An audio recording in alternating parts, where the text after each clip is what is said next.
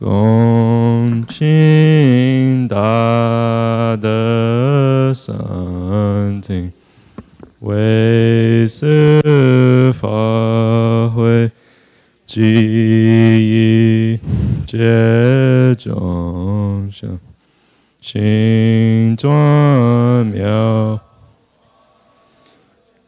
教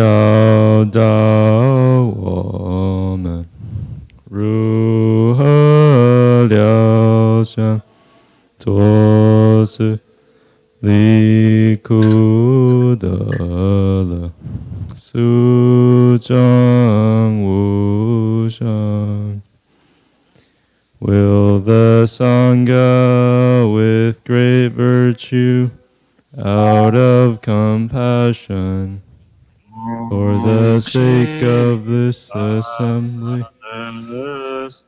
living beings, please turn the wonderful Dharma wheel to teach us how to leave suffering and attain bliss and end birth and death realize non birth.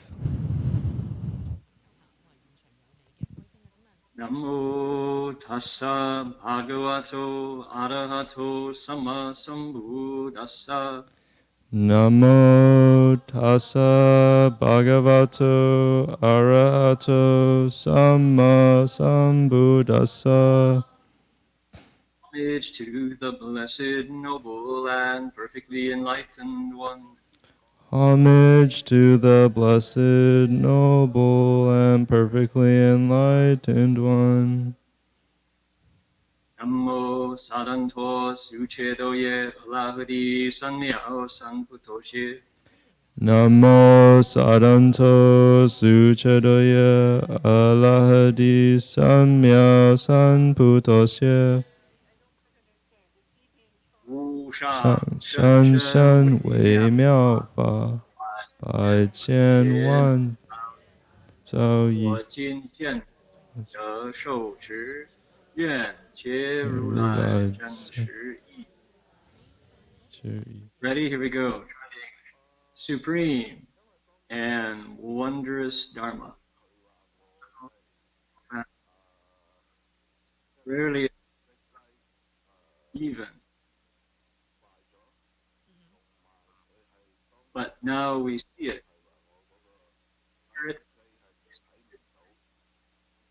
May we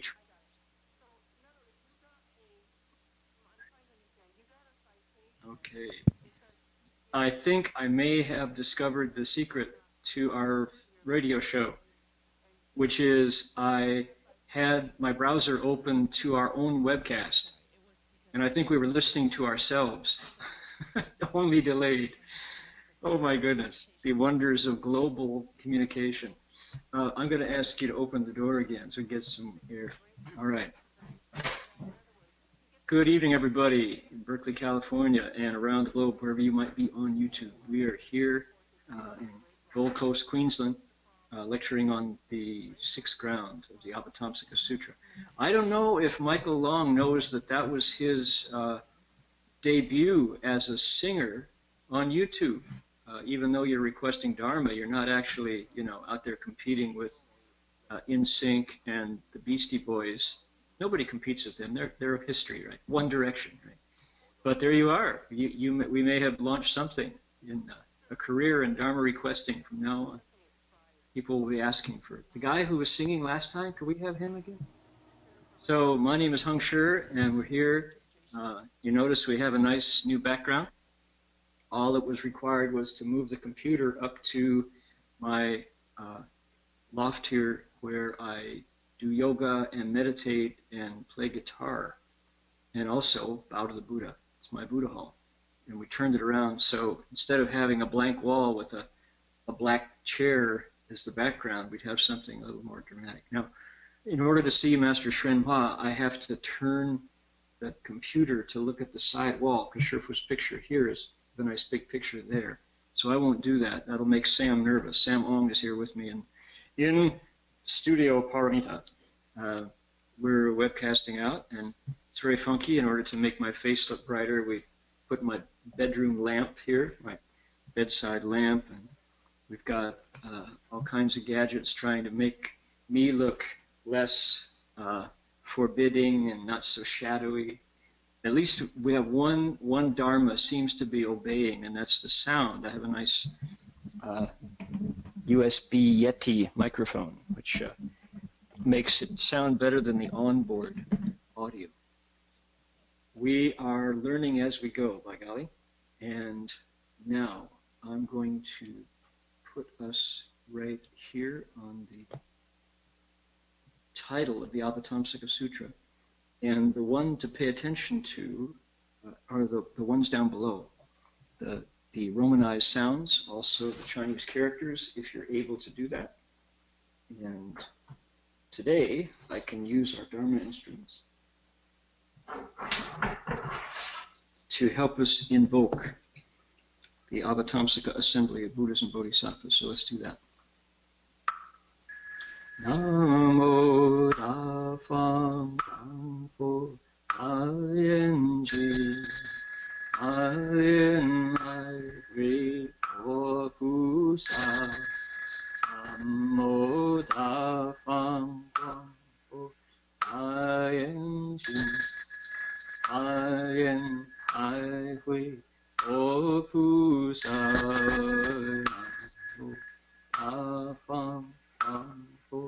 大眼睛，大眼还会，我弥陀，南无大佛，大眼睛，大眼还会，阿弥陀，南无大佛，大眼睛。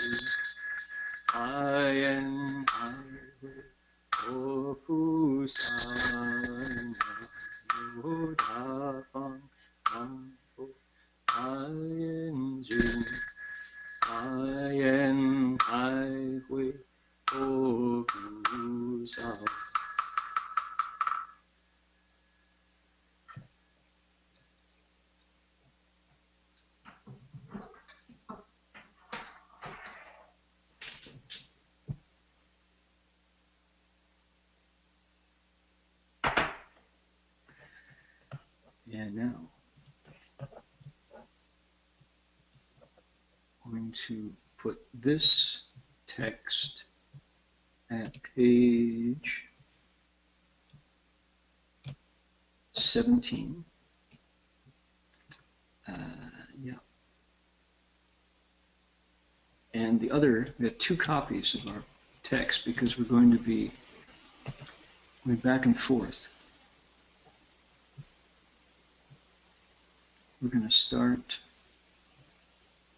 here with that verse. And here's what I plan to do today. Um, we have a goal, which is to understand the 12 links as the Buddha wanted us to understand. That's the part of the Avatamsaka Sutra we're in. Sixth ground talks about uh, Buddha's uh, understanding of creation. And what what is he talking about? He's talking about the creation of suffering, not just worlds. Worlds come about as a result of deeds. So he's talking about where deeds come from, where karma comes from, which often results in unsatisfying uh, conclusions. And the results don't satisfy often. And so the Buddha talked about how that happened. And his description required uh, complex, really complex, a lot of moving parts. Um, complex explanation of what he called the 12 links of conditioned co-production, conditioned arising. Things pull each other, and it all comes up together. And being um, uh, also a story about liberation, he talked about how that can stop, how we can make that process stop if we're skillful. So that's what we're about, and we're talking about the verses. And so a lot of um, it requires a lot of things to be set up. You have to have pieces, have a foundation, have the rebar, and have the the studs and the, the uh, framing and, and, the ties, and it all has to be code. then you put the wallboard on, and you know fill in, put the roof and the shingles, and you've got a house. So we're down inside the walls, talking about how it's built. That's really a good analogy. I suppose um, if you're a, a, a, contractor, if you're a house carpenter, when you look at a house, you must see something different than most of us see. Right? A house carpenter probably looks at a house and thinks, oh, yeah, uh 18 inch centers between the two by fours, and uh, that's probably that's they were still using clay pipes back then, not PVC pipes. You know where the where the liquids flow through, and uh, I wonder if that's up to code. You know, the contractor can see all those things. That to us we see, oh, big house, you know, big. Oh, that one's brown. Oh, shingles. You know, that's what we see. We see the skin. A contractor goes right into the bones of the house ordinary people who are not interested in wisdom look at things that go wrong and they say things like what? Bad luck. Galmay, you know, bummer. Or we blame somebody. Obama's fault. Anything that goes wrong, right? So that's not only looking at the surface, it's reacting to what goes on and making having an emotional response to. The Buddha's wisdom, and it, make no mistake, in this chapter, we're looking through the Buddha's eyes. That's what's so neat about sutras, is they give us, for the time we're looking, we get a chance to look through the Buddha's vision at the way he sees the world. And Buddha's vision here says, we're going to pull aside the paint and the stucco and the shingles and the siding we're going to look at how the house is standing, how it was made, and see if we can't understand how to how to uh, direct our karma so that when things go wrong, we don't just say, eh, "Dalme, bummer, bad luck." We go, "Oh, we'll fix that. I see. I see what's going on." Okay, so that's the idea. That's what we're about. Here it is. Let us Nope.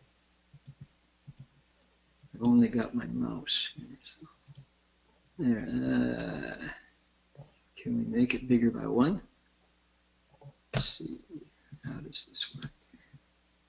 Um, Apple changed their uh, scroll bars at one point, and it was not an improvement. There we go. Try again. Uh, yes, did it. Okay, here we go. Ready? Palms together, please. Here we go Um, let's we can read together, right? Instead of one after. Usually, when I'm there, I can hear you, but there's I'm in Australia, you're in California, and around, so there's a gap. So let's do it in unison. Here we go. Together. 无名与行为果序， 智于受现在转，爱取有生未来苦，观待 若断焉寂尽。Let's go here.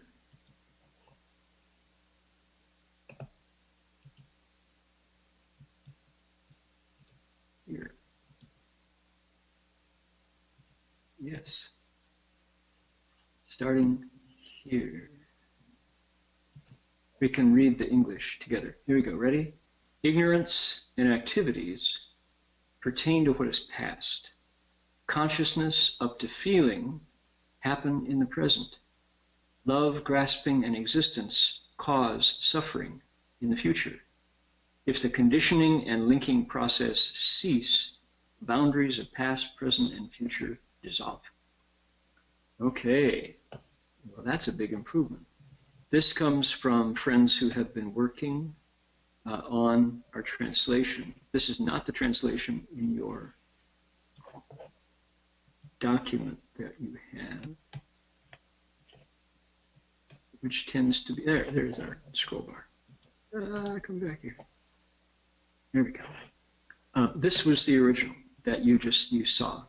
Um, what I read you on the screen, we're using the benefit of having the document on our on our computer while everybody's looking. So this was the original. Observing, waiting, severance of suffering brings their boundaries to an end. No. If the conditioning and linking process cease, the boundaries of past, present, and future dissolve. How about that? That's interesting. So, um, this is a verse. Wu Ming Yu Xing Wei Guo Qu. Ignorance and activities talk about what is past. 12 links. First link. Second link. Ah, that's what's going on here. Gee, we need to decode this, right? Otherwise, the Buddha's talking about what? Buddha has show, is showing us the process by which we suffer, die, and come back again, and suffer and die and come back again. Okay? 是指与受. Consciousness and feeling, all the way to feeling, that's series of links, are present. This is what goes on. 爱去有生未来苦. Those links are suffering in the future and the conclusion. If the conditioning and linking process cease, guan dai, those two things, ro duan, if they stop, boundaries of the past, present, and future are over. You have put an end to suffering. Okay? How about that?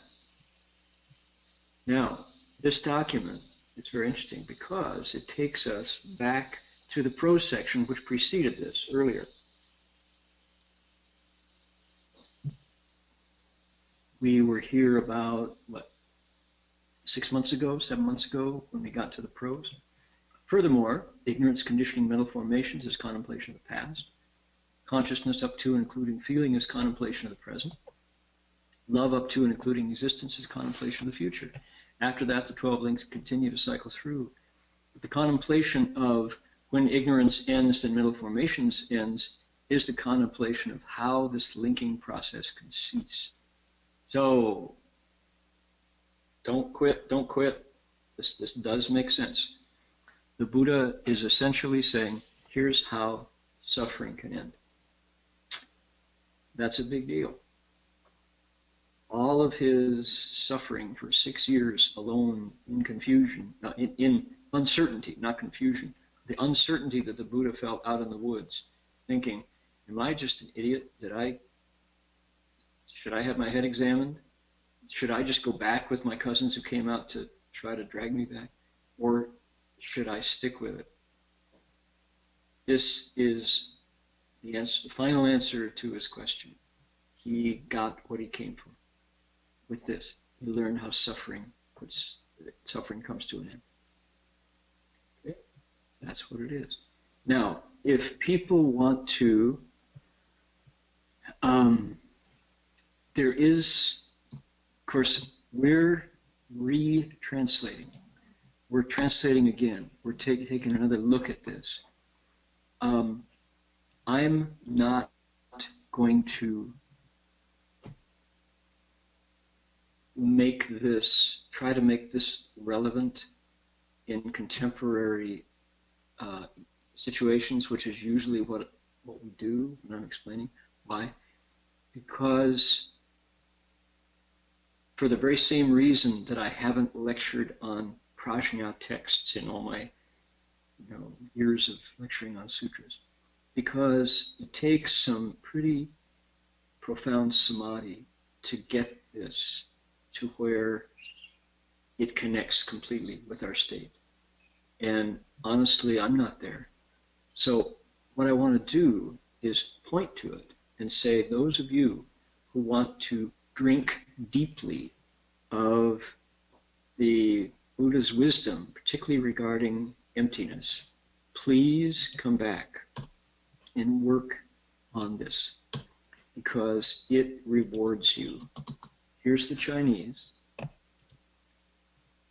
This is the real stuff. This, this is wisdom. Has to surface. Okay. Um, ignorance and activities talk about what was past. The links. Consciousness up to feeling happen in the present. Love, grasping, an existence cause or bring about suffering in the future. If the condition and linking process cease, boundaries of past, present, and future dissolve.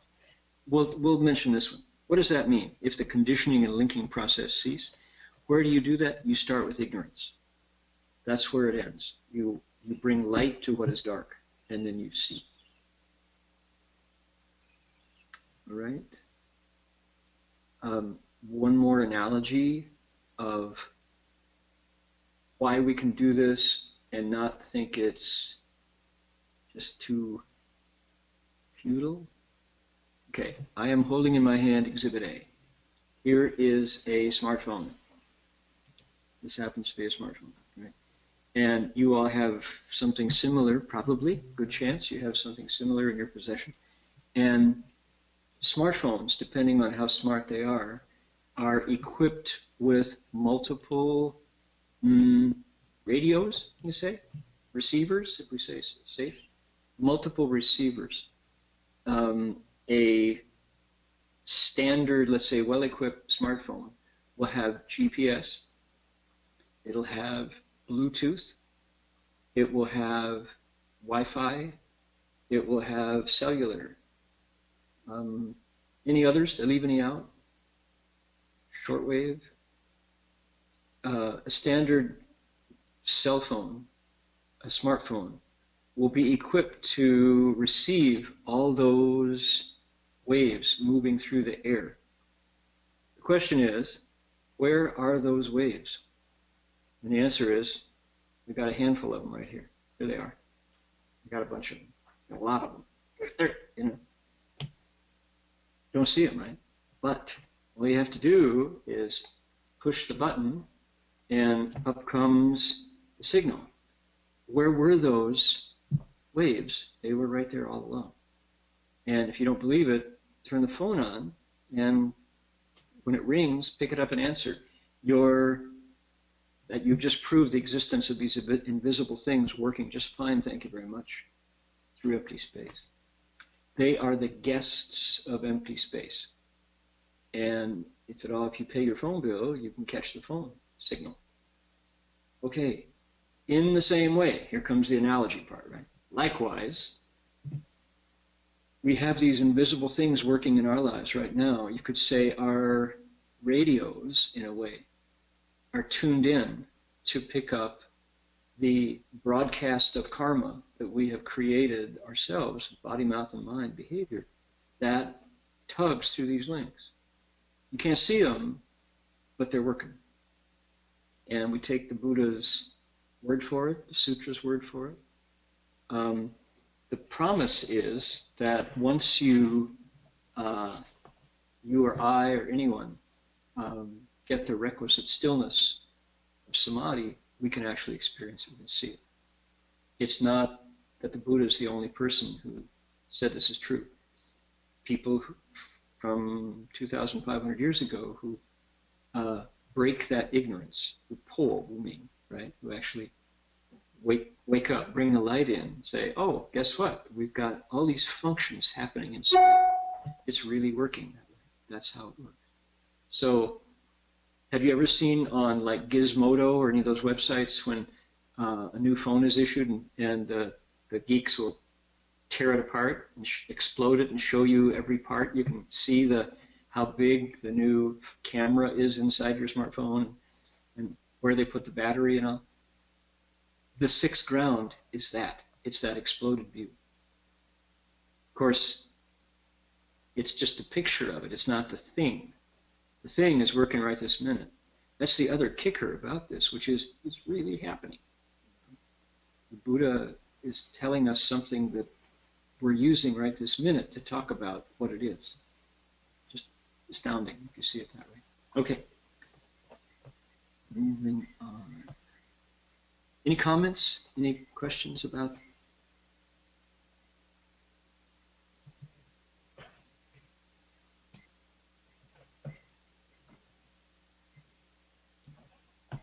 We will go to the next one. Here it is right there. Okay. I'm going to read it. Join me if you care to in unison. Here we go. 无名为缘，是生福。欲缘得离，福乃尽；从因生果，离则断。观察于此，知性 空。Good. Try to scroll. It's a challenge. Here we go. Pardon the translation. It's an early translation. We'll take a look at this and then go to the new translation. With ignorance conditioning, there is production of fetters. When free of that condition, the fetters also end. Freedom brings the severance of retribution born from causes. Contemplating this, one knows its emptiness of nature.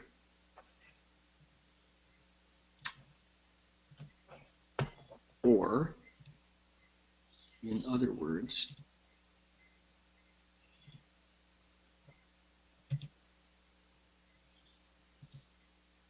There.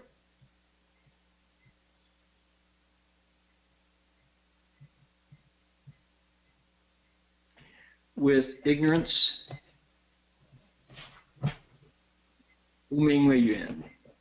when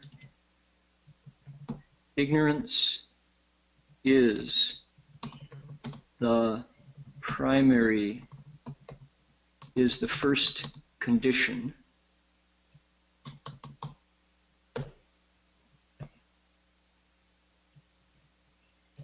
fetters come about. Ah, stop that. Fetters come about. Fetters happen. That's real English, right? Fetters are born fetters come about. Okay? But when yu yuan de li, when free of that condition, okay, we can accept that. Fetters also end. Good. Simple, clear, good. 从因生果，离子断。Freedom brings, freedom's talking about Li, when that condition, meaning you've broken ignorance, freedom brings the severance of retribution born from causes. That's just such a. Uh, is there a way to lighten that sentence up? Let's see here. 从因生果，离子断. Free of that condition. Once free um, retribution born from causes, cause and effect. Effect, let's see, here, let's just talk about cause and effect. Once free, cause and effect. stop. That does that can't be right. No, cause and effect doesn't stop.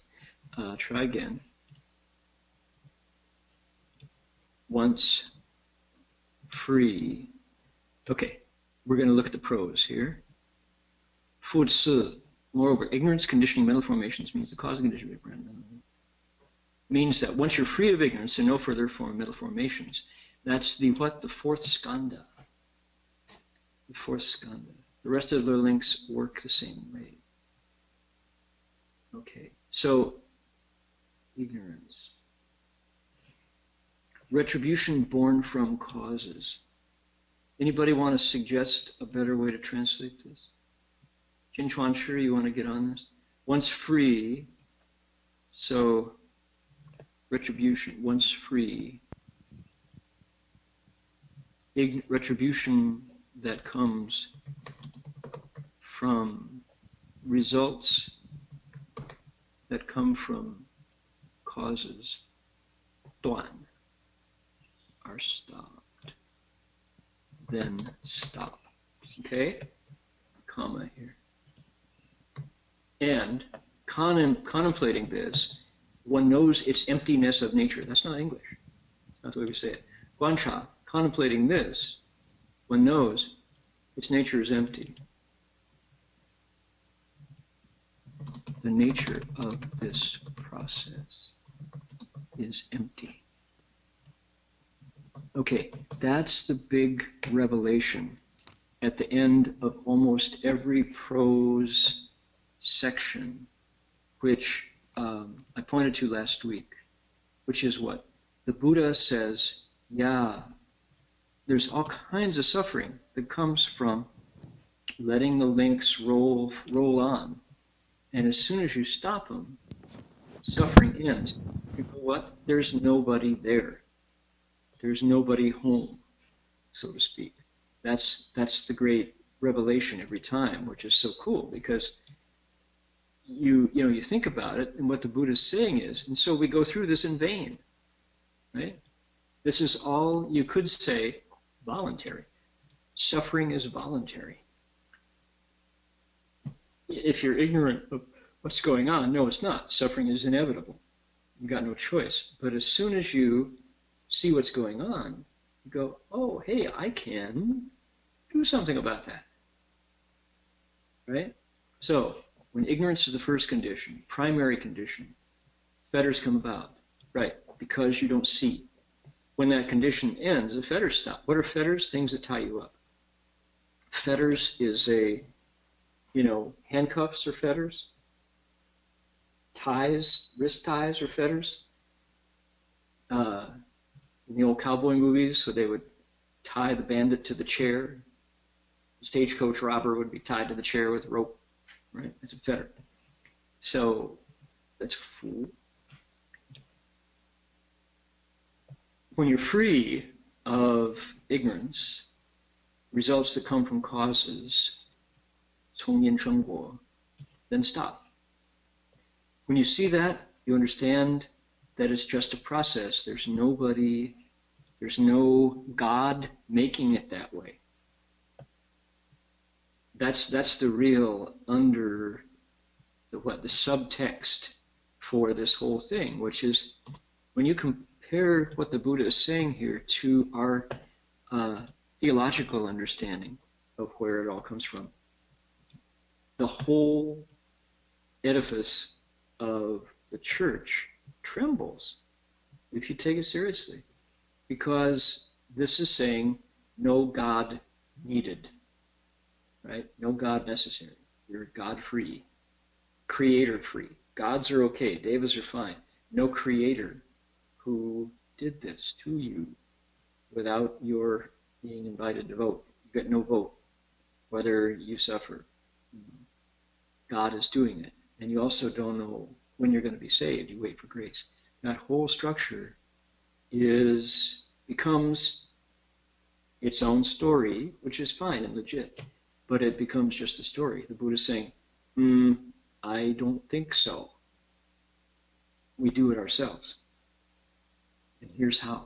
And here's how to take charge of it. Oh my goodness. Okay. Got it? Question? Any any insight here to share?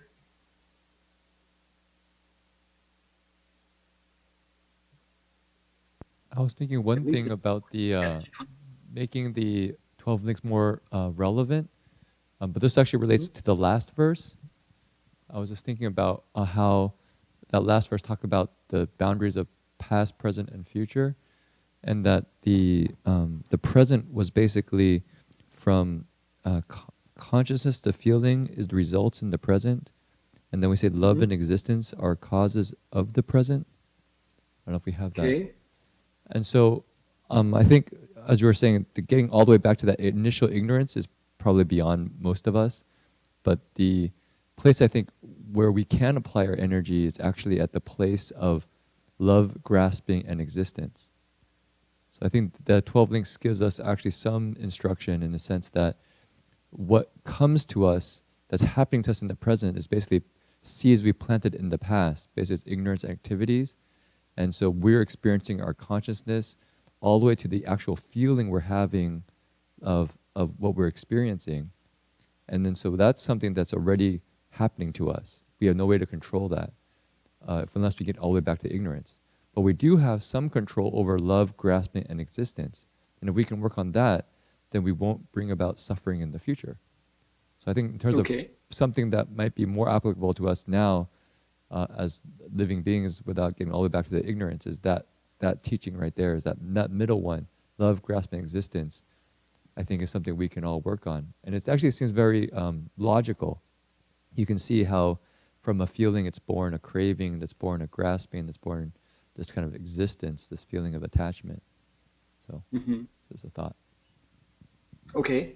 Yeah, that makes sense. Um, what um, when you when you think about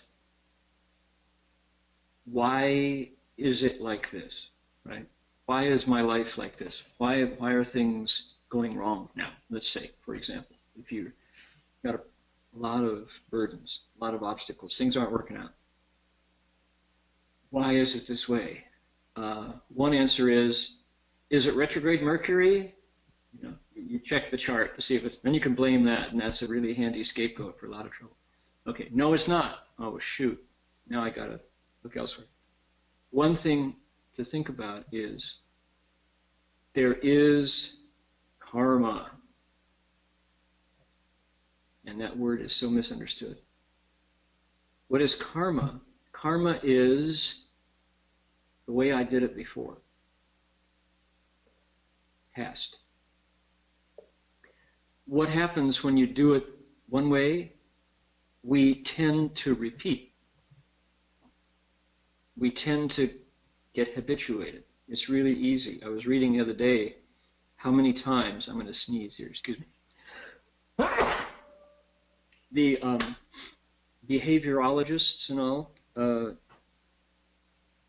uh, behaviorists, psychotherapists who do you know behavioral behavior mod and all, um, have these theories about how many times you have to repeat an action to be, make it a habit, and they actually measure the firing of nerve synapses.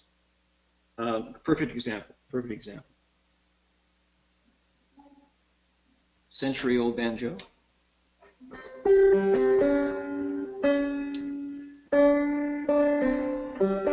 there's a drop thumb technique. Okay, you go.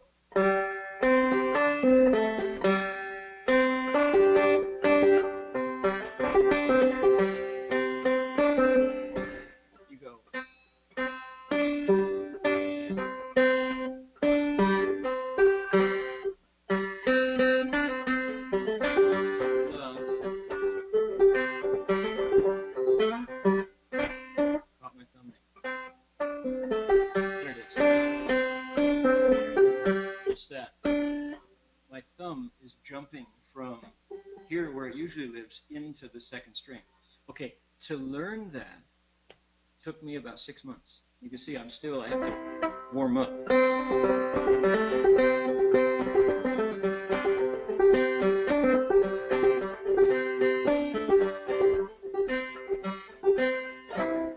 To get that to where my nerves are firing so that I can do it like three times out of five, right? Without going, oops, no, that's not it. Oops, no, that's not it. Takes a lot, a lot of work. And I, I guarantee that as you age, it takes more work. When you're 18, when you're 16, it's so much easier somehow. I don't know. Um, but just to do something as simple as dropping your thumb down to the second string instead of the fifth string requires going not, not, not you know you have to it's it's physical labor and that is Wu Ming Yuan Xing. Okay? From ignorance to activities. And once you get it, it's like, oh yeah, sure, I can do it.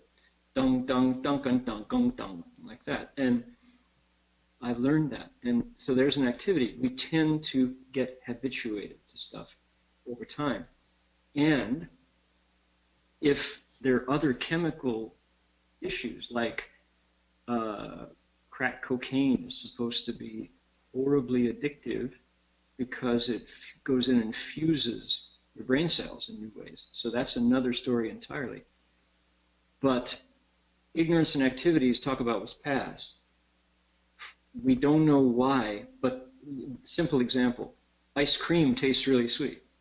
People, almost everybody loves ice cream. If you ever watch kids taste ice cream for the first time, something lights up, you know. And we want that again. We want that sensation.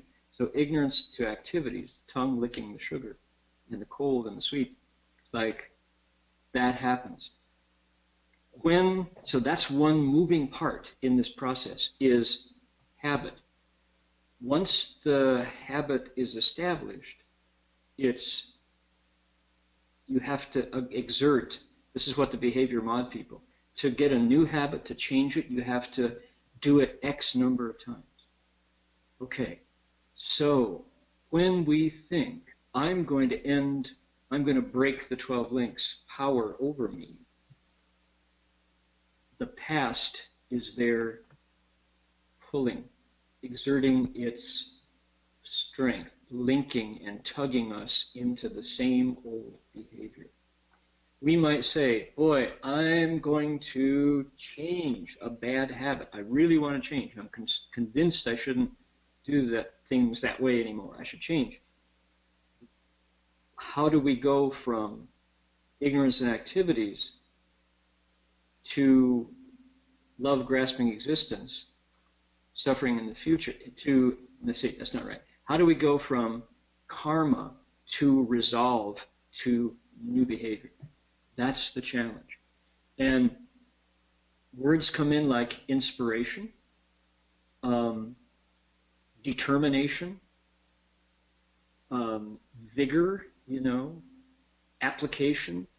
Those are the words that you think about and you think, yeah, I really am going to change. Um, so that's right there that this is, we have, we have the pull of habit is karma. Okay. Now, I just want to say a side note. How different is that, my explanation that I just gave you, from fate? It's just fated. Can't break it. Something made me do it. Something else. Doesn't stand. Right? It's not fate, it's your habit. It feels powerful, but in fact, we can break it by exerting new effort. How many times do we have to repeat, repeat, repeat, repeat before it changes? Jin Chuan, you want to respond to that? Is that how does that work in terms of past to present to future? Yeah, I think that was very helpful in terms of just as an example that basically we actually have an opportunity to change our our lives, and the 12 condition links uh, gives a very, uh, at least for me, it's a very logical way of explaining everything that's actually happening. You can actually uh, observe your actions and use the 12 condition things and say, oh, this is how I came to be where I'm at now. And, um, and you can, so for instance, if I have a, a craving, I go, okay, so I had a feeling before that. What was that feeling? okay, where did that come from? Well, that came from my six senses touching, uh, from contact, and then my six senses coming into contact with something, then I had that feeling. Okay, so what do I do about that? And so it's, it's a very satisfying way of understanding who I am and what I'm doing. And then it gives another sense that actually I'm free to then change my habits if I can apply some samadhi. that's, that's the trick, the changing habit. Okay. All right. Moving forward. Same story. Nobody's home. The process itself is the process. There is no one actually there to um, guide or mastermind this tug, this this train towards suffering. It's on the track. Okay. Next, uh, let's do our formal thing so we know where we are.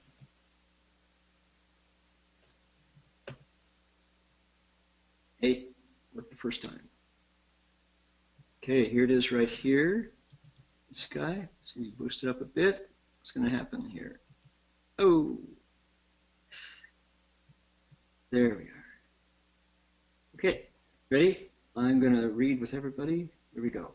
随顺无名，起诸有；若不随顺，诸有断。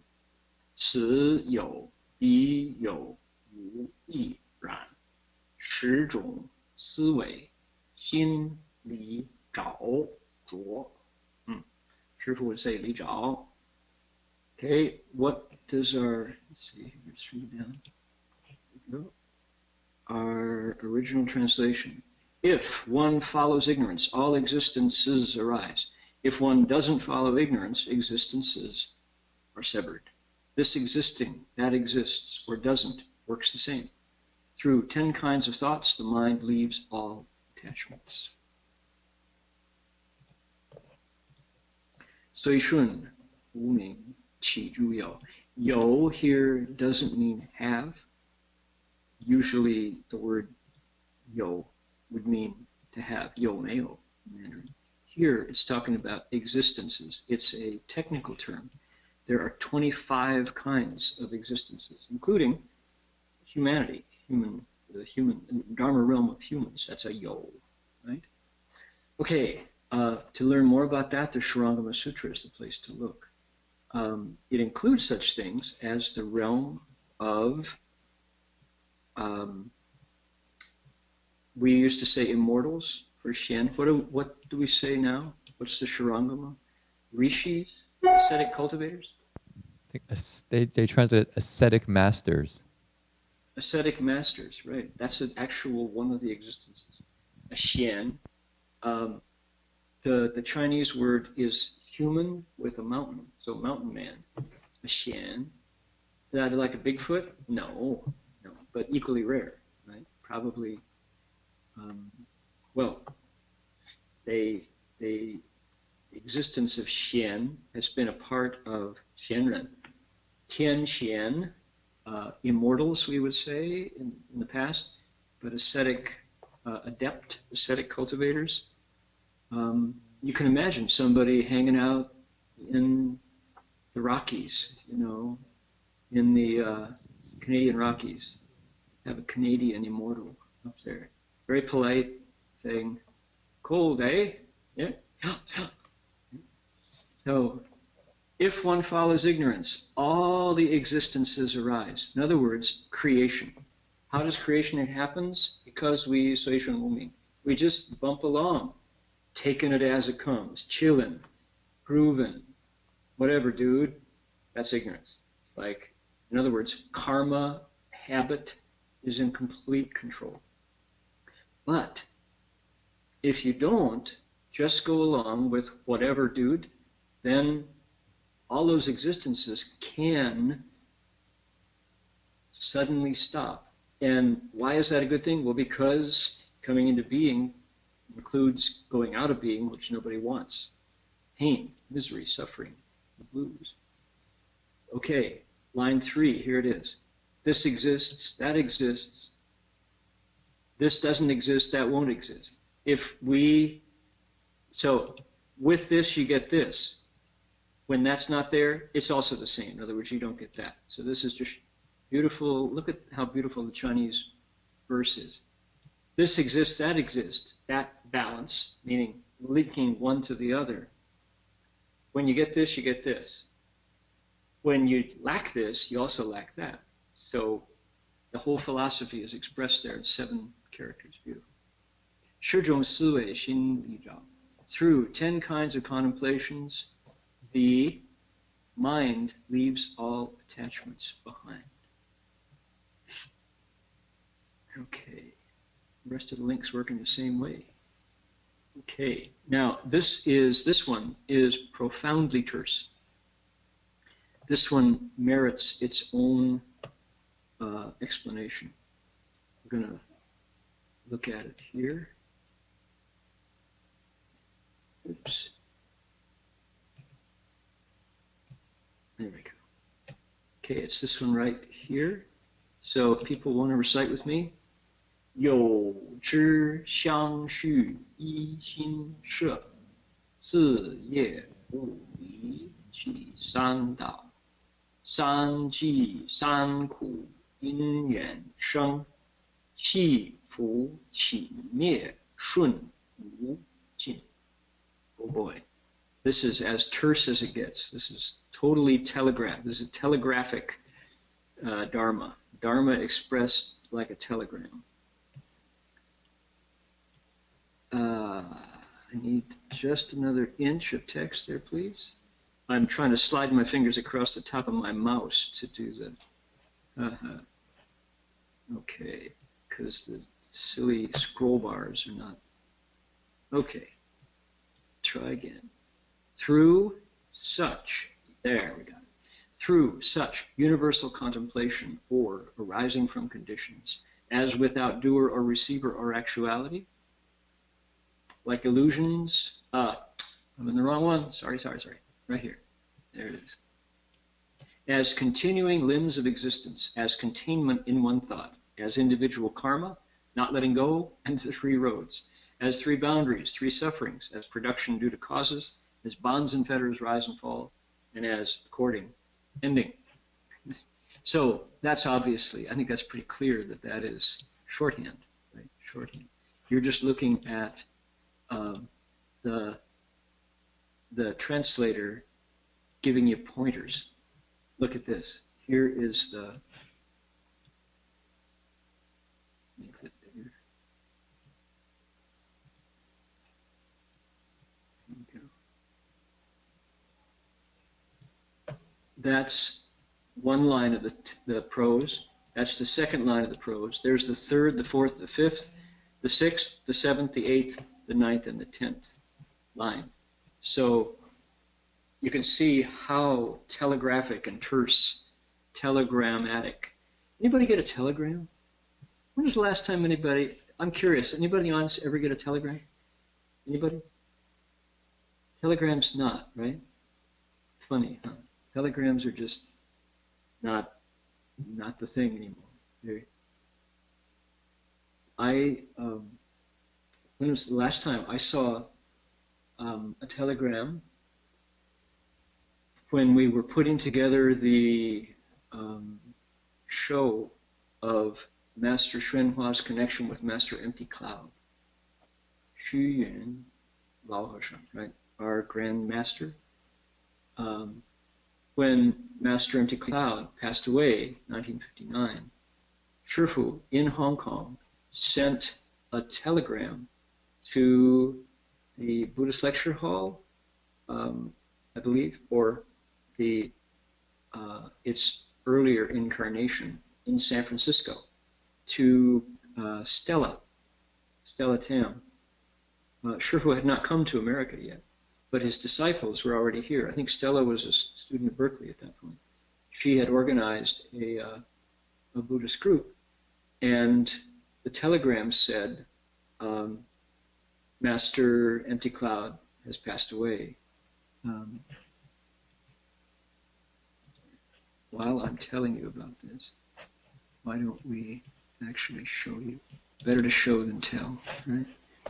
Um, it's uh, the point of the telegram is that um, here we go, right there.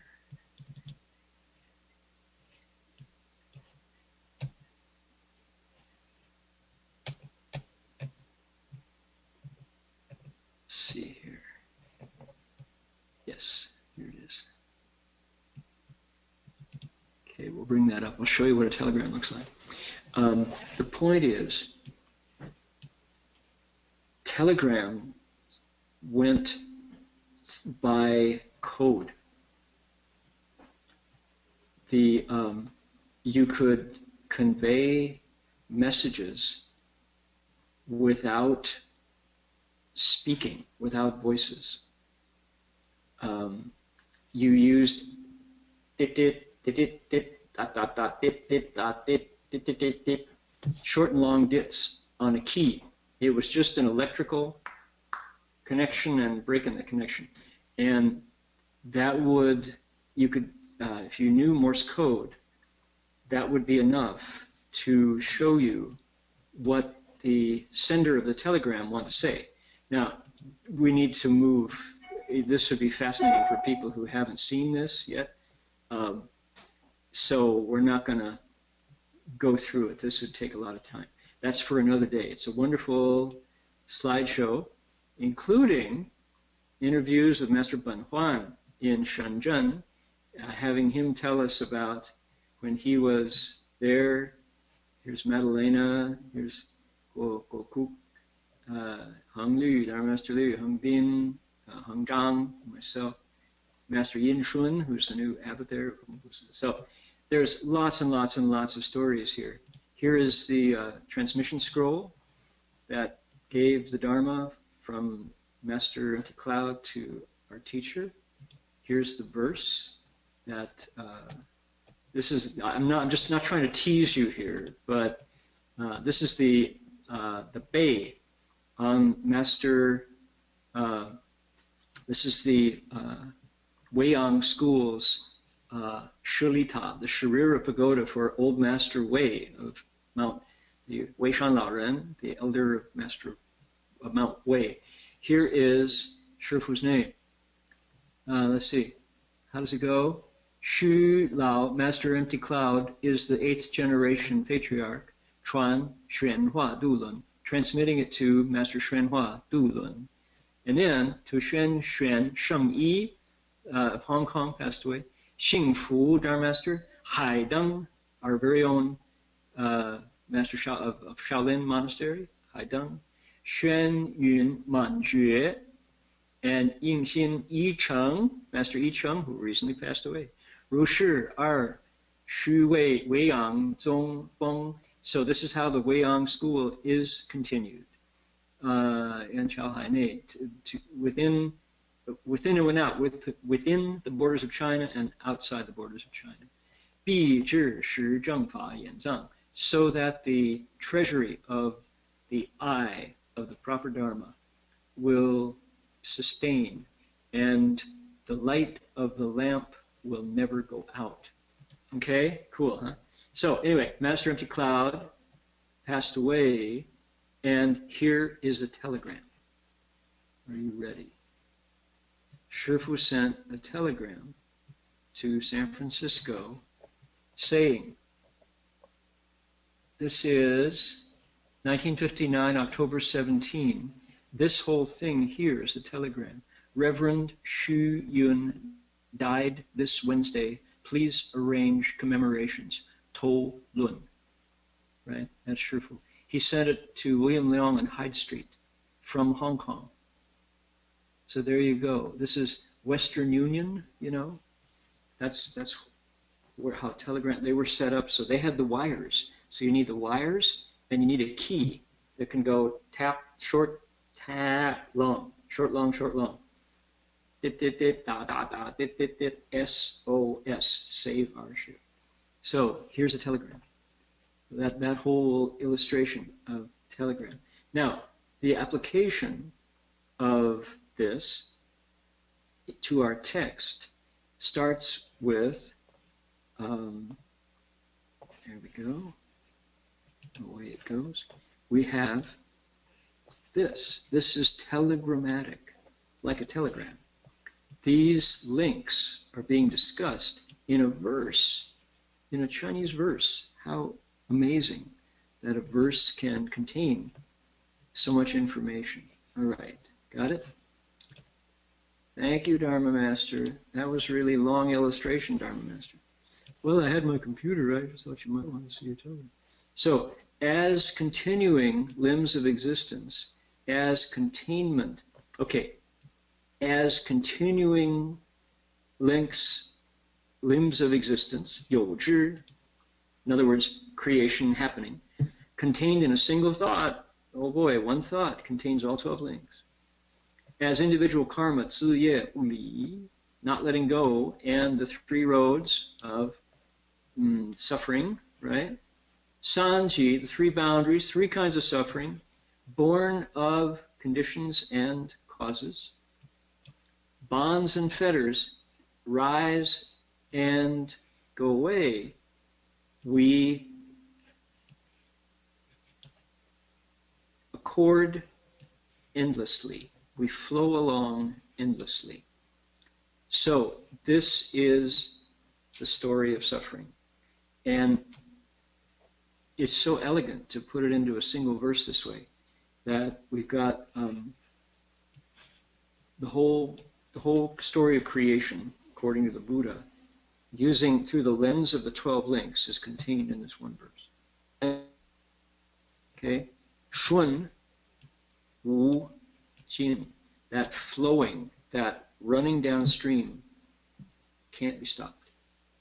It never stops until you stop it but the continuity of those links, the branches of existence, is what makes us hurt. You can take a Panadol, you can take a Tylenol, but the relief is only temporary.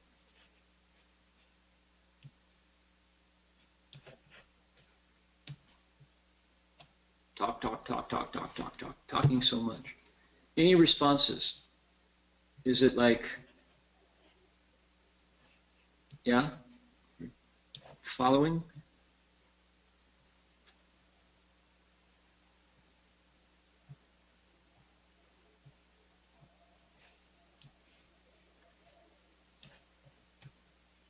Ten thoughts.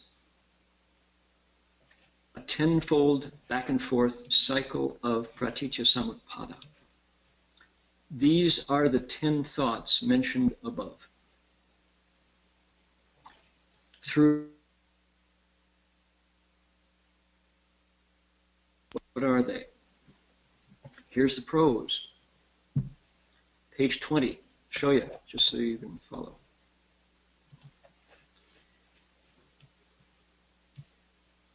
Here's our text. Page 16, going to page 20. Page 18, page 20. Here it is. These are 10 kinds of opposing and according contemplations of how the, the links come and go. Okay, why? All right, let me explain this. Okay, this is the Avatamsaka Sutra. And our Avatamsaka Sutra, here's an entire chapter where the Buddha is laying out one single Dharma. Okay, he's talking about the 12 links. And Ajahn Sumedho is famous for explaining Four, Four Noble Truths in many, many, many varieties. Right? Ajahn Sumedho, Luang Por Sumedho, the elder monk, senior American monastic, is famous for talking about distress, sorrow, pain, discomfort. Right? He's got all these ways of describing the First Noble Truth that things don't satisfy. Conditioned dharmas fall apart. And our generation of Europeans largely just went, yeah, yeah, I get it, I get it. Can I leave home and follow you? Can I be your disciple? Right? Ajahn Sumedho's explanation of the Four Noble Truths was immortal. I mean, he was able to bring so many people into the Sangha simply because he spoke that Dharma so well. Now, of course, he spoke all kinds of Dharma, right? But he was famous for that. That was his expertise. And the his disciples, you know, Ajahn Sudanto and the other younger generation of the Thai forest monks do the same. They take the Four Noble Truths and just explain it, you know, so you get it. You understand that particular Dharma very thoroughly. All right. So there is an entire chapter of the Avatamsaka Sutra called the Four Noble Truths chapter. Did you know that? Were people aware? We haven't lectured on it, but there's an entire chapter that's devoted entirely to the Four Noble Truths. So you can look it up.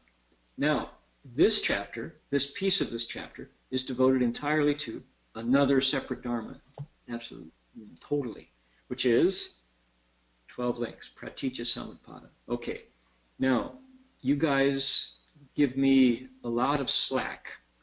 You, you follow me, you know, because I tell you, we're going here next. And you go, okay, Dharma Master, or whatever you say.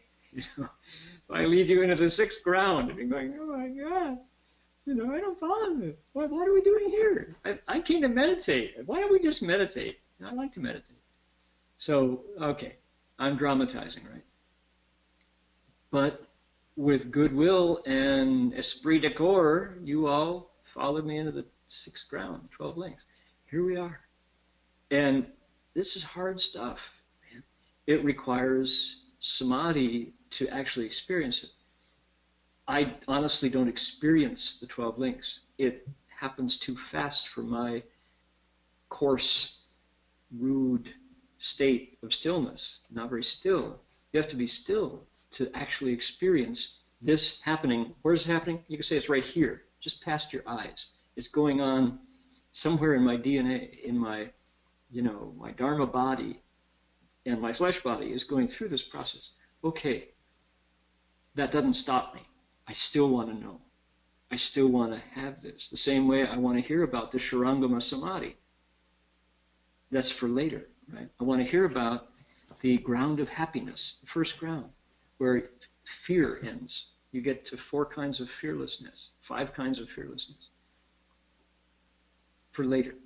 I don't have it yet. We're into deep bodhisattva water, but I'm still interested and I want to explain it to the best of my ability. So, so far, probably the analogies that will survive this experience is talking about the Buddha raising the hood on the engine, the car of the universe, and saying, take a look at how the engine's turning. That image works for this, even though many of us are not car mechanics, right? Another example of uh, the the uh, tech geek websites that explode your phone and show you how big the battery is. That's an example too. A carpenter looking through the walls to see the rebar and the, the girders, the two by fours. Doctors, I wonder what doctors see. When a doctor looks at a body, do they see past the skin? They, does a surgeon, once you're a surgeon, are you changed forever? You can't look at a human the same way again? Do you see the, the, the muscles and their colors and the blood and it's, you know, the pumping heart and all? I wonder. I wonder about that. Dentists, do dentists look at people and only see their smile, you know? I don't know. The Buddha is saying, yeah, here's how it works. Here's how the universe works. Here's how your life works. And when it goes wrong, here's how it works. And here's the promise that you can make it stop. You can make it make it, the pain go. Okay, that's pretty much my best shot. And other people have explained this in greater depth, with greater subtlety, made bigger connections to it, made it closer to the to our lives. But we're not far from the end of this. And um, I would be thrilled to know that somebody has like made this work for them. They during the work week, during school day, this came back, and suddenly they experienced a connection to this notion of linked causes and conditions that bring about the existence of states we experience and there being no entity at the heart of it. That would be wonderful to know that somebody got uh, insight that way. That's the point of this. And if that doesn't happen, then what do we do? We say exposure to this is very helpful because there will be a day in our progress towards liberation from suffering when this will kick in and go, right, the sixth ground, that talks about where stuff comes from, especially my suffering. What are the contemplations that we have back and forth cycles of pratitya samutpada, 12 conditioned co-arising, continuity of the 12 links, how they're contained within one thought of the mind, how they're distinct due to your individual blend of karma, how they don't leave one another, that they link correctly always, how the three roads do not stay stray from each other, the past, the present, and the future, how sufferings grow, how causes and conditions arise and cease, the arising and cessation of ties and fetters, and the contemplation of nothing whatsoever and its ultimate cessation. Okay. Okay, here they are. What are the three roads? Disciples of the Buddha. Ignorance here, Aichi Butuan, is the, the road of affliction. Activities through existence, not ceasing, is the road of karma. And the others are the road of suffering. So, three roads ignorance, karma, and suffering, misery, dissatisfaction, unsatisfying. And yet, ignorance, karma, and suffering has nowhere to rest if we end ignorance.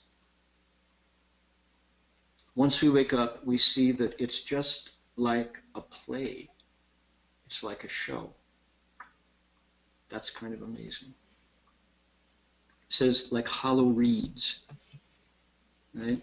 It would be what's it like? It's like a smartphone without Wi-Fi and without a SIM card. There you go. Perfect analogy. Contemporary. Thank you very much. I'm pleased. Yes, yes, yes. I accept your congratulations. It's exactly like a smartphone made dumb. Right? How do you make a smartphone dumb? Remove the SIM card and shut off Wi-Fi. And there you go. It's just like that. It's basically a drink coaster. You know, to keep your table from getting a white circle on the table. So yeah, hollow reed. Hollow reed is kind of a, uh, you know, mm, rural. Most of us don't live with hollow reeds in the downtown area of Berkeley, but we can definitely relate to a SIM uh, smartphone without a SIM card and no Wi-Fi. Mm.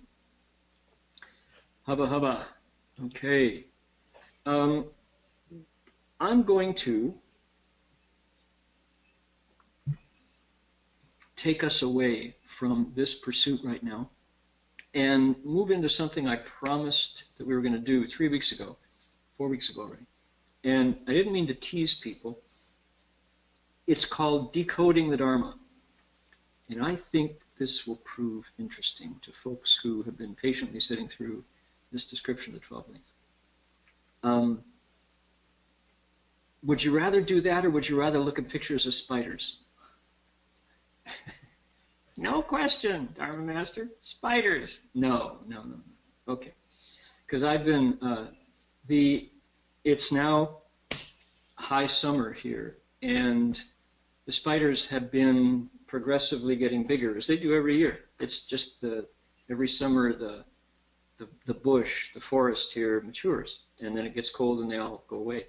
And uh, in one day, I run into lots of remarkable eight-legged creatures who live here, who are home here, and I suspect they will be here long after the humans are gone. So anyway, let's get on to the coding, the decoding of the Dharma. The, the story goes, and I, I want to say it one more time, um, that here, here's how my here's how this came about. Um, we have been, as you know, in DRBA, in the Buddhist Text Translation Society, looking once again at our translations. And our translations, I'm going to sneeze. Excuse me.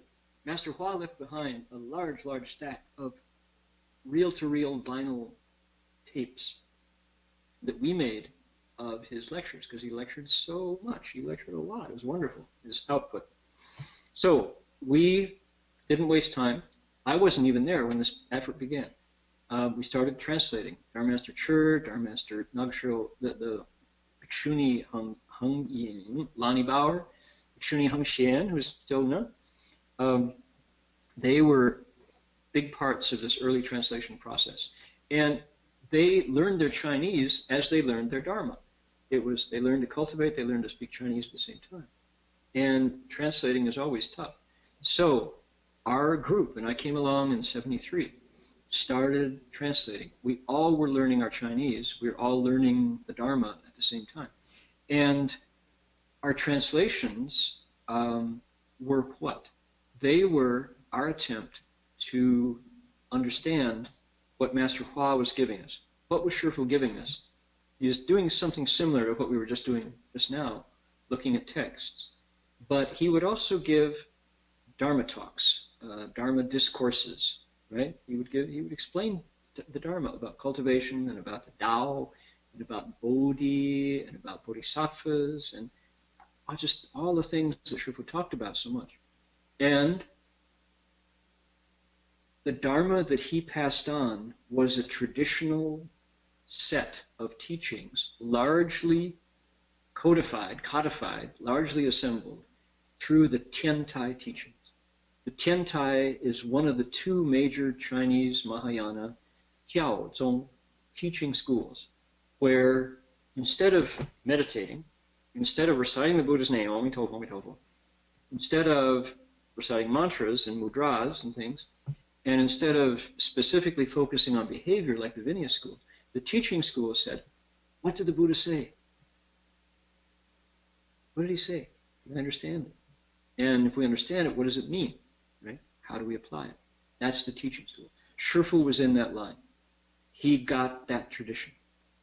And he passed it on to us.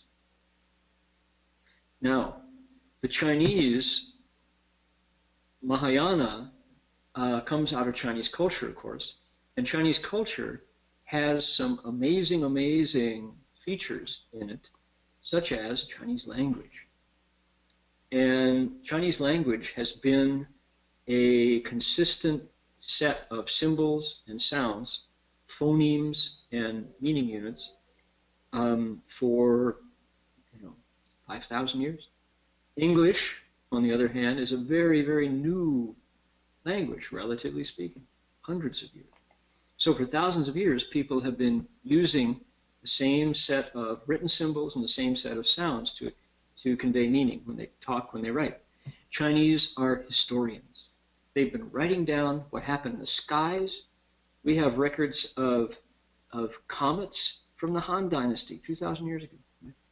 Battles, emperors, poetry, all kinds of things have been written down by the Chinese. We can go back to and, and read them today as if they were happening in the news, you know, today. So the Chinese love Wen is the word.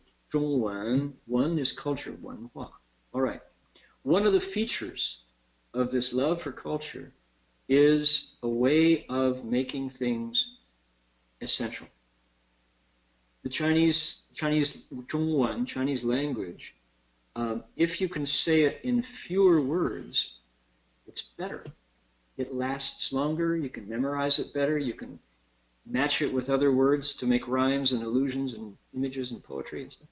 So it's a it's a beautiful, uh, priceless aspect of Chinese culture is this ability to write down experience in simple, essential phrases. So Buddhism comes to China, and the Buddhists are really good at this. They come up with four character phrases, 四字成语, four character idioms. And Shifu learned them and passed them on to us intact. We got the real transmission of the Jiao Zong in the 20th century. Okay, so back to us fledgling translators. When those four character phrases came to us, we um, tried our best. First thing we did was look in the dictionary, put the English word that seemed to fit on top of the Chinese word. So we had English words with Chinese syntax, the Chinese word order, and the Chinese logic and grammar. And that was pretty good, first time. But when you try to read it from a standard English perspective, it seems like code. It seems like words that somebody else must know what they mean because at first look, it's quirky, it's funny, uh, it's not standard, right? It's not idiomatic, it's not colloquial um, in English, in Western culture. All right, but it was translated, and it was the first essential, necessary step of bringing it into the culture. So now, after 30 years of that, our Chinese is better, our cultivation is better, our understanding of the Dharma, our bigger picture is better of what Shifu was trying to do. And some of us are trying to re trying to to root those teachings of the Dharma into the culture more deeply. All right. Had an experience. I was at a Buddhist forum in Wuxi this last October, and the forum topic was Hong Fa, spreading the Dharma. Hong Fa means one thing to Chinese Buddhists, it means something different to Western Buddhists when I I asked Shifu one day, I said, Shifu, in the future, when I go out to Hongfa, do you have some advice for me? Sherfu said, Neo Fakwa Hongfa,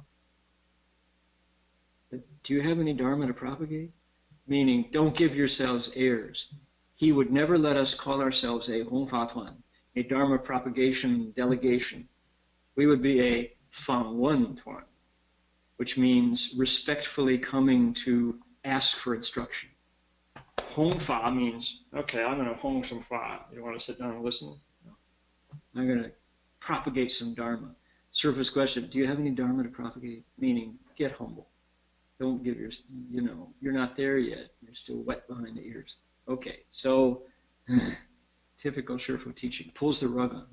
So you don't go, you know, here comes the Dharma propagators. Oh my God. So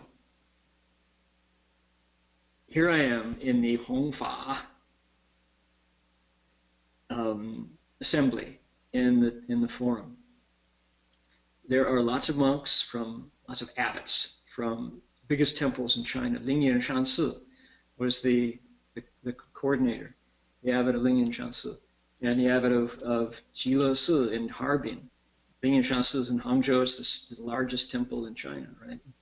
And I was the Western language coordinator for. Was the third, you know, uh, and the the other the monk who was with me was uh, Yanjue Fashi from uh, Guangji Si in Beijing. So we had you know Beijing and and Harbin and and Hangzhou, biggest monasteries.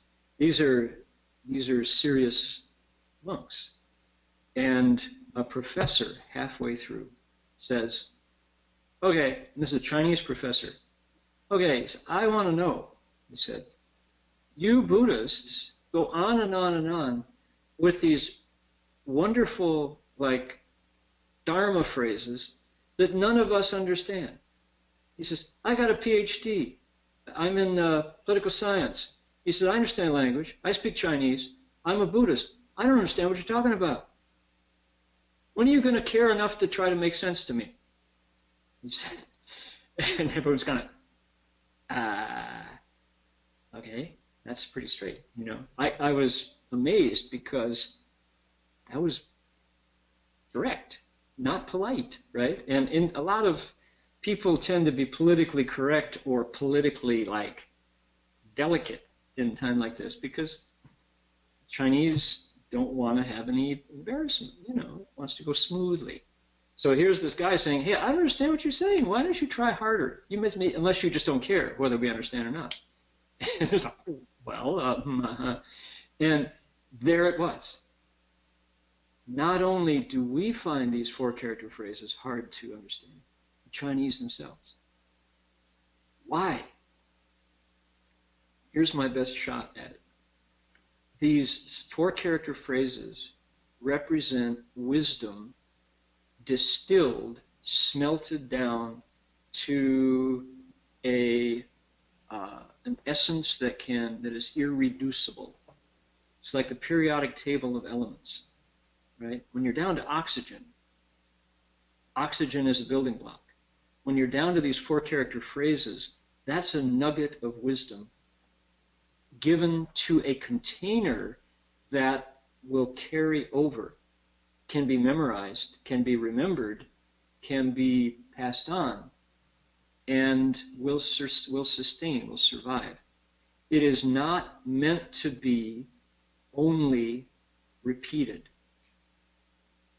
Now, here at Gold Coast Dharma Realm, last night we were talking about this topic as my Dharma talk, and we came, we got another analogy for it. These four character phrases are like tea leaves Chinese tea leaves, oolong, not tea bags. Chinese tea leaves that you actually get in your fingers, right? They're little tiny nurdles, they're little balls of tea. And you put hot water on them and they go and tea. Hot water becomes tea. If you don't douse them with boiling water, it's this dry leaf that looks like a something, a BB, you know. So we who are interested in what the Chinese understood about the Buddha Dharma have to apply the hot water. And then we get tea, which people like. And it's flavorful, and it's a good drink, and it makes sense, and it's, you know, keeps you awake, and it ultimately sets you free. So, what we get in these four character phrases are tea leaves in the pre-tea state. That's that was last night's image. That's a good image. So, what I thought would be interesting would be to look at the four character phrases and see if we can't apply some hot water. The flavor that comes off them is huge. So, and delicious. All right. Here's what is a wisdom saying? I, I call it decoding Buddhist idiom. What does a wisdom say? Short, pithy expressions that carry advice or wisdom. Often advice. Plant your corn early this spring. Thanks, Grandma. During this forum, scholars criticize the Buddhists. We don't understand what you're talking about. It's some abstract, lofty philosophical jargon. We don't get it. Now, it's even more poignant because why? The Buddha said, don't write down my Dharma once you write it down, it becomes the property of the priest caste, the very, very, very, very tiny minority who can read. It becomes theirs because, oh, I know what the Buddha said. It's right here. You want to know? Uh, maybe I won't tell you unless you make it worth my while, right? Or whatever. So the Buddha said, don't write it down. Keep it in the oral tradition. The Dharma is meant to help people wake up, to end their suffering. That's why I left. So don't write it down. Well, being typical Buddhist disciples, they wrote it down.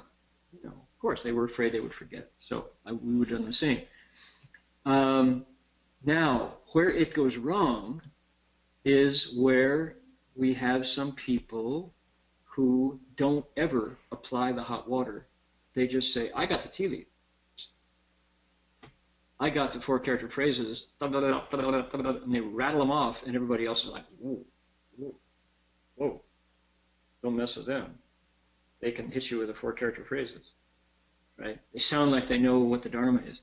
That's one zi boro. That's one level of wisdom. Owning the phrases is the first step.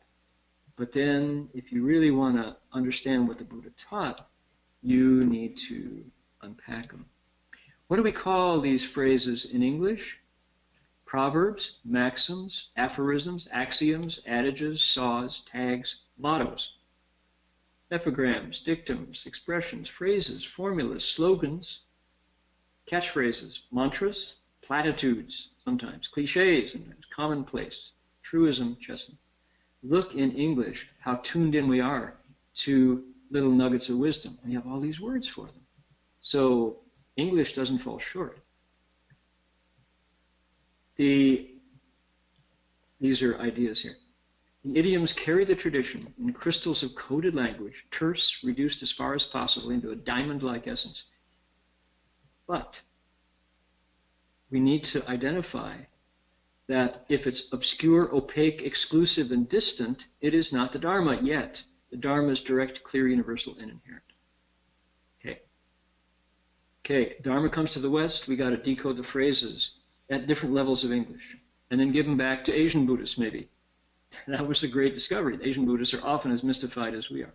They don't have the decoder ring, Captain Midnight's secret decoder ring.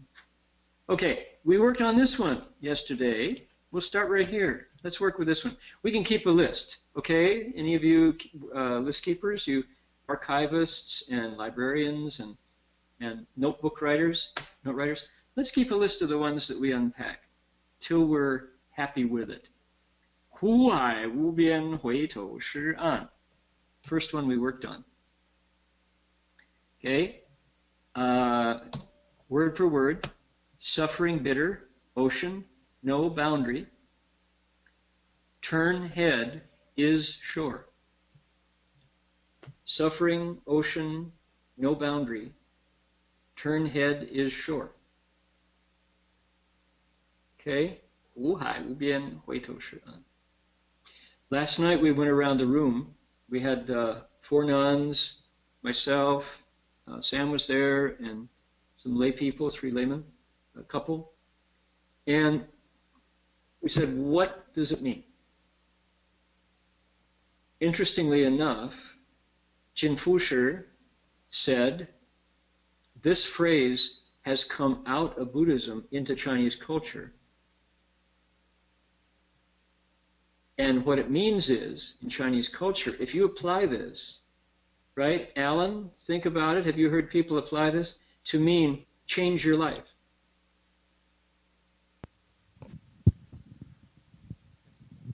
Yeah, actually, people use that fairly often. You can probably even see the news today because of the election. how, how would you how would you translate it in in if somebody, if your mother said this to you with her finger in the air, what, what is she saying to you? Can you um, put it um, into idiomatic? Um, I can elaborate a little bit. It's not kind of try to shorten it. For example, it's, it kind of implies that I'm heading to the wrong direction, so I better turn around. So that's a that's a meaning behind. So I'm kind of okay. it before it's too late, right? Okay. Anybody want to correct that, change that, add to it? What does that mean? Yuan, what is, if somebody says to you, wei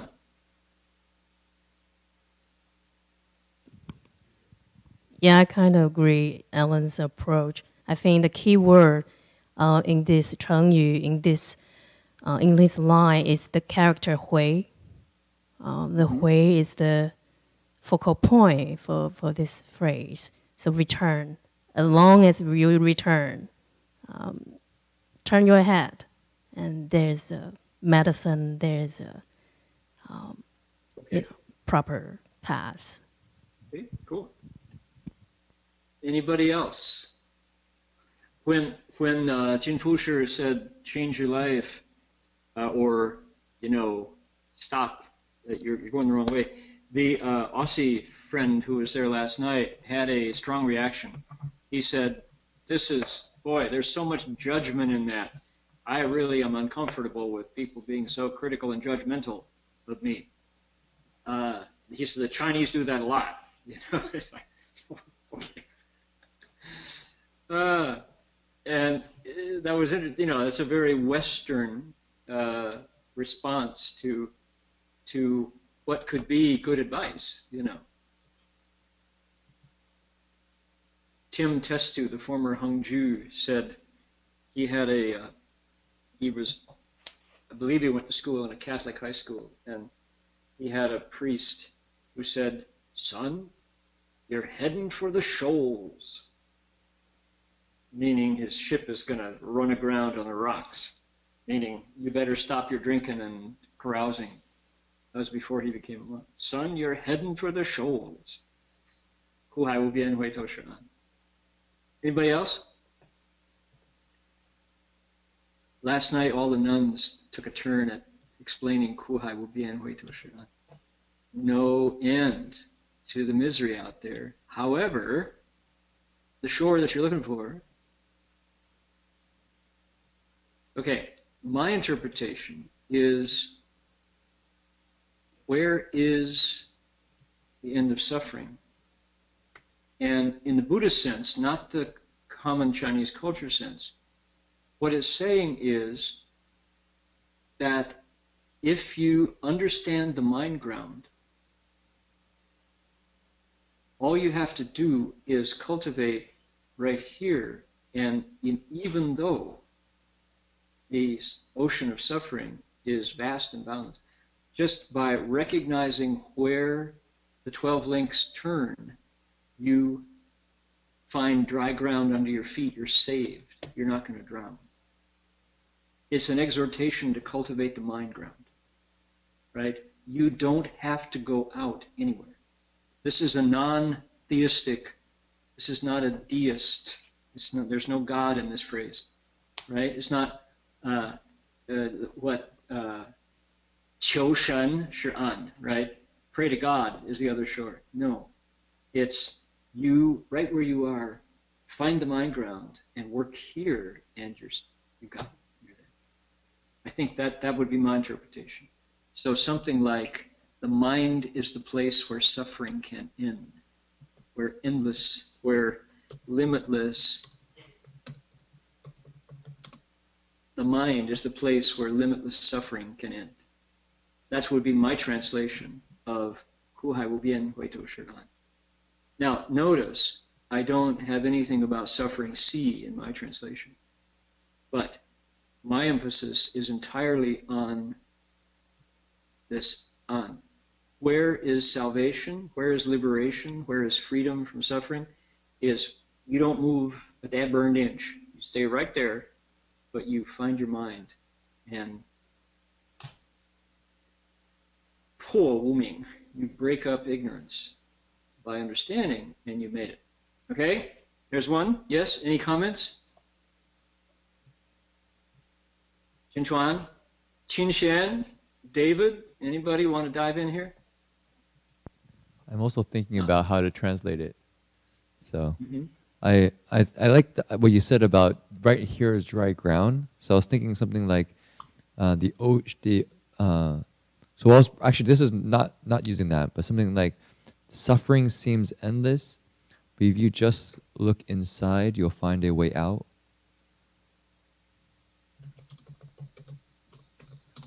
But if you want, if we would like to Say again, but if Yeah. you look inside, But if you look in, if you just look inside, if you just turn inside, you'll see, you'll find a way out. But I, I like the metaphor with the ocean. So if you if you're something like the ocean of suffering seems endless, but if you just turn inside, you'll find uh, dry ground right where you are, or dry dry ground.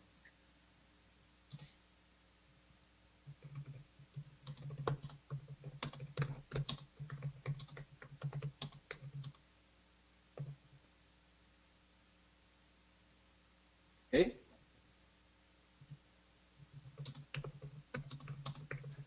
now, now that we're unpacking it, actually, it's, it's a very profound principle because I think if we do look outside, oftentimes, you know, you just see like, wow, this is endless. My suffering is endless. This is, what, what can I do?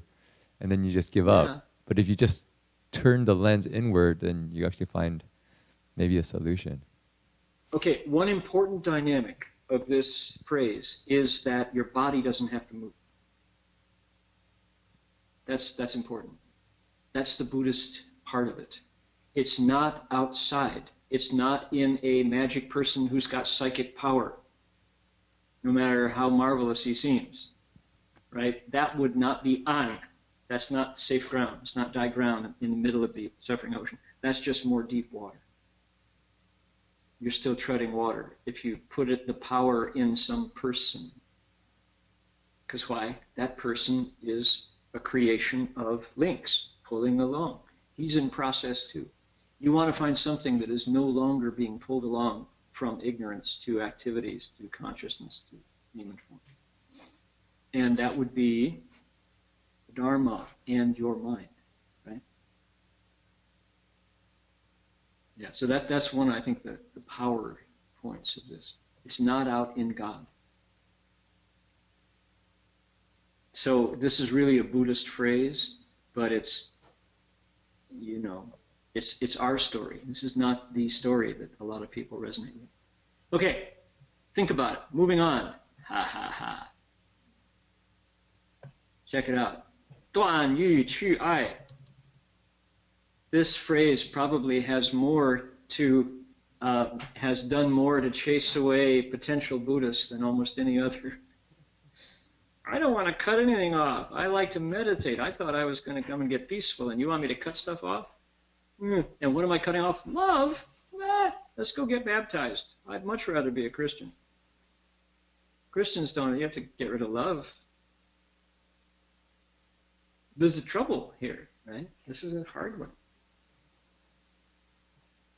Okay, I've, I've took my hand by giving you last night's translation. We looked at these two phrases last night. Gan Yu Chu Ai. There's one more too. So, cut off desire, duan, sever. That was being translated as sever in our translations today. Sever desire. Chu, get rid of, banish. I, love. Oh my God. Who wants to do that?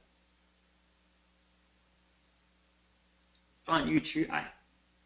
Um, uh, Jin Fusher last night said this is entirely within Buddhism. This phrase has not made it into Chinese culture. As many Chinese are scared of this as, as Westerners.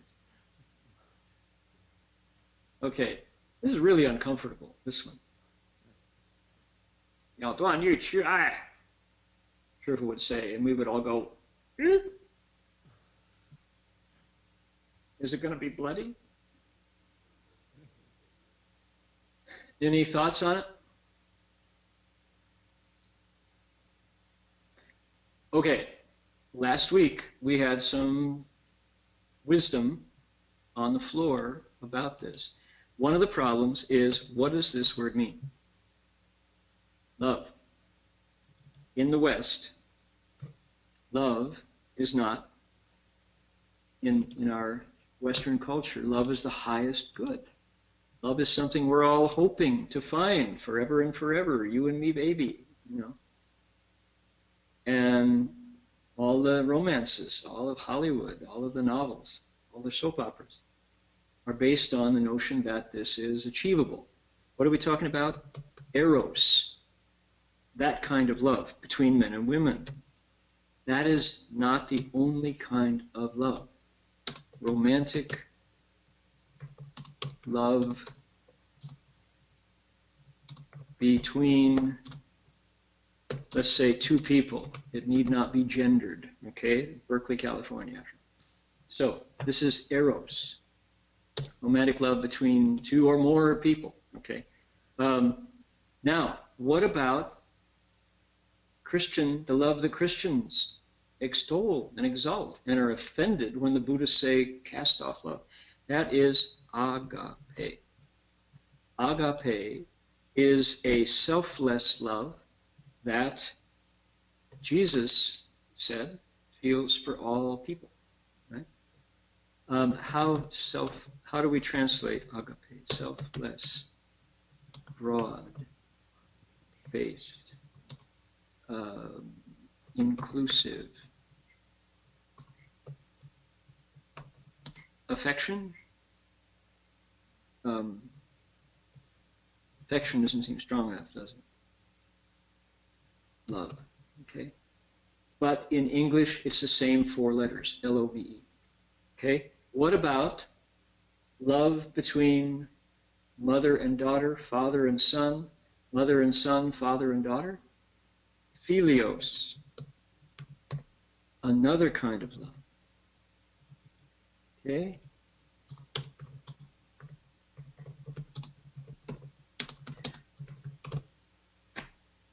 Oh boy, look at that. Suddenly, this is deeper and richer, and this becomes murkier. Now, last week, we heard about craving. Craving, which would be probably a much better translation for I, in this case, from what for what the Buddha was talking about when this phrase came about. Um, we couldn't. Um, one of the efforts I know uh, Alan and and Ihuan and YC in our community went back and tried to find the earliest occurrence, tried to source these words. Who, where did this come from? Is Duan Yu Chu Ai a phrase that occurs in sutras? Is it a phrase that occurs in Dharma talks? In, you know, what did some monk say this first? That's helpful when you're sourcing these to know who said it first. Sutra text quotes are different. So craving attachment. If we plug this into the 12 links, this is link number what? Eight, right? From craving, from grasping comes love, from grasping comes craving, from craving comes existence, from existence comes birth, from birth comes death, from death comes old age, from suffering and, and all, right? So it's in the 12 links. So it fits right in with today's lecture. So let go of attachments. Don't if now, what if we translated it as stop running outside after externals and let go of your attachments. Then this becomes wise instructions for cultivation. You, what is you? Desire things that you think, things that are outside you that you think if you get them will make you happy. The Buddha would say, don't do that. That's where suffering happens. When you are pursuing externals, you're going to hurt because the you that wants are both nobody home. They're wrong views, illusions. Furthermore, drop attachment. They won't, once you get it, you won't be happy. What about stop running outside after external things and let go of your attachments as a translation for Duan Yu Chu Ai? Jin Chuan, you want to weigh in here with, with craving and what your comments from last week? Yeah, I think that's a very good explanation, like a kind of what do you call it, um, unpacking in the, the, the quote. Um, if we want to maybe be more specific, it'd be something like don't st- stop following your cravings and uh, let go of your attachments. I actually think using attachments for I is actually a very uh, what actually is very appropriate because I was always trying to figure out why you and what what I is, and usually they point to the same thing as craving, but I often you can think of something that you've already got, so it's pointing to the right. second move of the uh, correct the twelve conditioned links. You have the the craving and then the, The- grasping. The you still is still happening here. It's Yeah. still like something rises. Ooh, I think that would Yeah. be great. I means you've already moved. So that's actually really good. So it's the stopping of that craving and then the letting go of the attachments. And if you do that, then our suffering will end. Because just today's lecture was talking about that. That's the seeds for future suffering. Right. Yeah. Anybody else want to look at this? Suddenly there's fewer bloody limbs on the floor, right? Cut off desire, cast out love. You don't like the person who says that. You don't want to be the. "Hey, Who's saying this? 法师, could we try? Could we could we, could we uh, render Yu as a lacking? Because if we look at this character in uh, its original uh, uh, meaning, you can see on the right side is the is the laking, and our laking is as deep as the valley. The the left side is the valley. So the desire come from our laking is as deep as the valley. So what if we translate this character as lacking? So if we could stop, seize our lacking, the the lacking. Okay. People, uh, Ihuan is doing a character analysis, something that's really fun to do. Uh, number six. You see that? That's the right side of the character Yu right there. If we cut it apart, it's Qian, and it's lacking. The left side is valley. Okay, so you take Gu and put it there, and although we can't break the gap, you've got Yu. So lacking a valley, well, you got a mountain or a plain, right? Uh, yeah, stopping lacking. Um, that's not the way I would say it to make sense in English. I would say be aware of be aware of how that sense of deficiency pulls you outside. You sense, you seem to be, I I would say, the illusion of lacking, the illusion of being deficient. We, we're not deficient. The Buddha's message was every living being has the Buddha nature, all can become Buddhas. Nobody lacks it. But because we're taught that we are not enough, we're taught that girls don't do science. We're taught that, you know, guys can't cook or can't raise kids, stay home dads, you know, this kind of thing. That's conditioning. That's cultural conditioning. And we we learn that we're deficient. Tell a child that they can't be an astronaut, boy or girl, doesn't matter. They're, they're like, why not? Sure I can. Well, you're a girl. Well, what's the difference? You know, et cetera, et cetera. So, yeah, I would say the illusion of the, il- oh, here we go. I would say the illusion, oops, here we go. Illusion of deficiency, something like that. You want, would you accept that? Instead of lacking, lacking doesn't quite make sense. Better. Give, uh, break through that illusion that you somehow don't have what it takes, because we do. Alan wants the mic.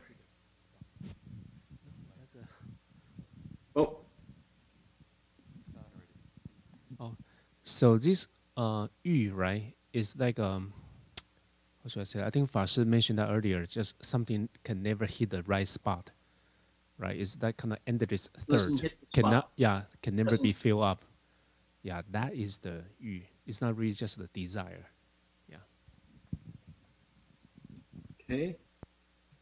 Yeah, desire is just the one translation of you. It's also the one for lust, right? It, it, it means that you is, it's the motivation to go out into the world to grab things, to, to, to seek and to greedy.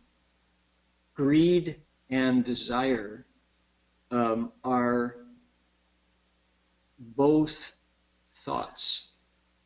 But one of them, desire, has a little more chemical fire behind it in your system. Greed is just like, oh, I want that. Desire is, I need that. You know, it's a one step further to pushing you out. And then lust is kind of the result of not catching that. And that's a significant, from the Buddhist point of view, right here is wisdom or no wisdom, is gongfu or no gongfu. I think it's not the case that most cultivators never have any thoughts of, gee, I would like that. But if you have gongfu, you go, yeah, and remember what happened last time when you went out for that, how it was a disaster. Why don't you be patient and look at, appreciate what you have, or even give what you have. Trade that sense of I want more for the joy that comes from giving, from sharing. That's kung gongfu, is to be able to, not that these thoughts don't arise, but you see them and you go, yeah, what if?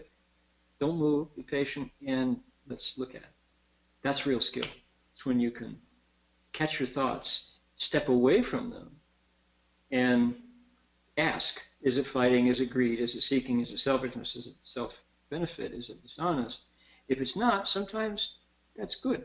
You know, you don't always cut it off. Sometimes if it's selfless and wholesome, you go ahead. But this is, there's another side. I mean to stop. We're, we're at our end of our lecture, lecture time. Um, the, the other reality here is there is a time when someone has just begun a process of cultivation, particularly left home monastics, right? Someone who is uh, committed to cultivate the way, and they have just begun to step away from the, uh, the, the nuclear family, their family, their spouse, their kids, their parents, their grandparents, their extended family. They are living in community alone, living alone together, right, in a monastic community. And that's that's been described as turning the course of a river around.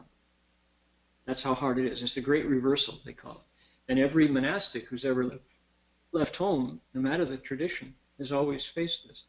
And at that point, for the teacher to say, cut this off, you have to understand, you have to see it the way it is. You have now committed to liberation and freedom that comes from radical sufficiency inside. So you stop love, and you will, because you're on the path to wake up. That's another whole story. So you could say this teaching, when it's aimed at monastics who are committed to a new lifestyle, that makes sense. But to go to a happy lay family and say, cut off desire and cast out love, that's not expedient. You know, we'll never have good Buddhist families if you're all cutting off desire and casting out love. Right? So there's another situation where this, you know, the hard interpretation of this might make sense. But in terms of the cultivation towards an ending of suffering, especially in terms of our text today, this is pretty good. Okay, fun, huh? People enjoy this? This was the next one we were going to go to, Shang Qiu Fu Dao Xiaohua Zhongsheng. We'll do that next week. Should we do more of this? What do you think? Is this Yeah, I think everybody nodded their head when you said if if it, if people Oh, oh, enjoyed it. everybody nodded. Cool. Um, I we're still taking nominations. I got long lists. We got lots and lots of lists, and some are immediately fun. You know, uh, immediately they're like, "Yeah, I want to." What does that mean? I've had trouble with that phrase forever. So email me or tell Jin Chuan, Jin Ho Shi, Qin Qian and we'll uh, we'll put it on a list of, of phrases to to unpack as we go. All right. Good. Let us transfer the merit. Oh, uh, before we go, before we go, announcements. You want to tell us what's going on? Well, we have one more week of Chan. Uh, next week we'll have one more day, the third week on Saturday of the Chan session. So people are welcome to come. We'll be starting with our beginners class about 8:30 in the morning, and we'll finishing about 3:50 in the afternoon. Um, and after that, we'll be going back to our regular Saturdays. Um, throughout the week, basically, most of the classes have been stopped, but Wednesday, Thursday, and Saturday night are still happening. And so, people who would like to come for our Dharma classes, you're welcome to come for that. Otherwise, um, I don't think there's anything else happening. Is there anything? Yeah.